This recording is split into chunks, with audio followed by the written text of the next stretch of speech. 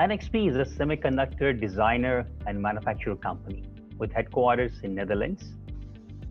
NXP has 34,000 team members in 30 plus countries with a revenue of 13.2 billion in year 2022. With NXP's focus on innovation and total quality, we're enabling breakthrough technologies which are making the connected world better, safer, and more secure. At the same time, NXP is delivering the solutions that advance a more sustainable future for the humanity. Traditionally, the quality is supported by analysis of the data of the past events or something that happened in the past and we are using the quality tools and then we're trying to prevent the occurrence of the defects or the issues that happened in the past.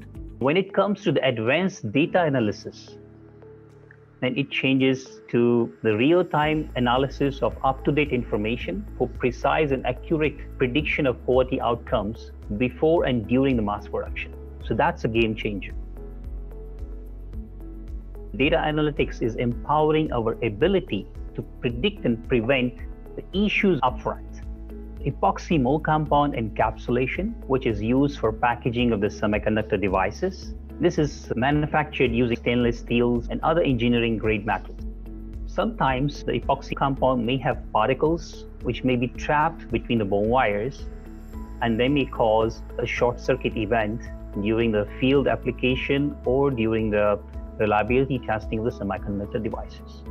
Typically, this is a sub ppm event in the past, there was no effective predict and prevent function working to stop this kind of sub ppm baselines or few ppm excursions. So NXP decided to formulate a project team and it leveraged the NXP's EDMAIC approach for problem solving.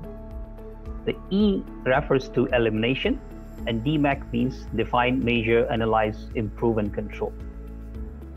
We collaborated with the suppliers, we utilized failure mode and effects analysis, quality function deployment, innovation, industry best practices, and the predictive analytics using the JMP Pro. And by doing all this, we were able to achieve the zero defect status for this particular defect mode. Cost savings were more than 250,000 US dollar per year. And there was a significant recognition by the automotive customers of NXP. JMP is a very phenomenal tool, I would say. It's an analytical tool which is used across all disciplines.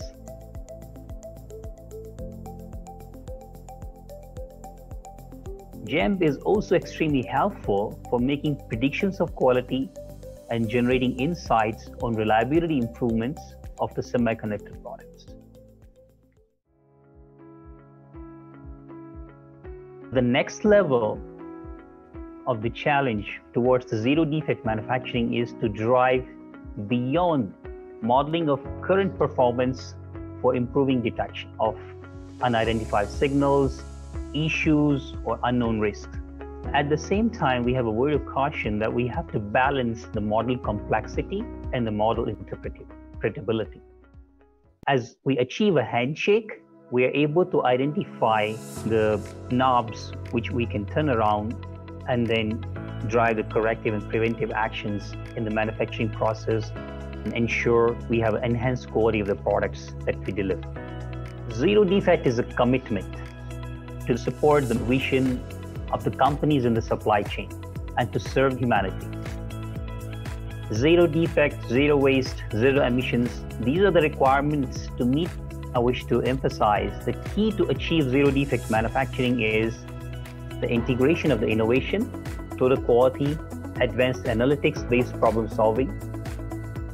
The best in class manufacturers, the best in academia have to come together and drive the creativity and total quality.